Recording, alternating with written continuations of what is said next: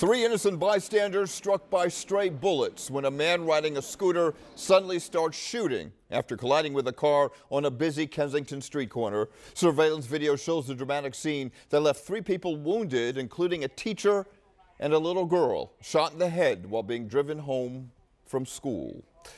Thursday night, and the big story in Action News is the latest in the search for that gunman as two adults and an eight-year-old girl continue to recover from the hail of bullets.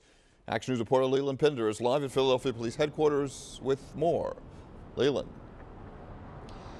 Rick, two of the three shooting victims are members of the school district of Philadelphia community, a teacher and a student, and we're told the superintendent met with families of both this evening. Tonight, we're also getting a look at a possible suspect in this case.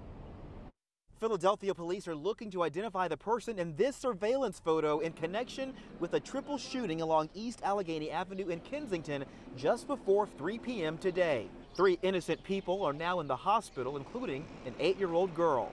I was over here. Everybody's taking cover. Surveillance video shows a scooter driving down the center of the road while cars are stopped so another driver can make a left.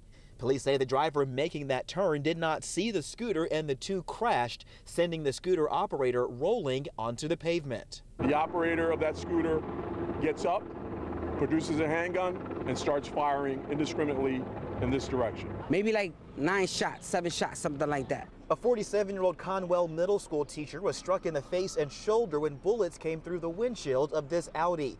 A 45-year-old pedestrian was struck in the leg, and an 8-year-old shot in the head seen here in this photo provided by family.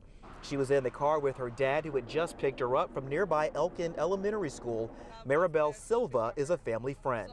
When the father took her exactly like exactly two minutes after that, that happens, the you know shots. That guy was reckless, you know, reckless. He shouldn't have done that. The scooter operator who police say opened fire and the driver who hit him left the scene. We're looking to identify key markers in the video to see if we can clearly identify the shooter.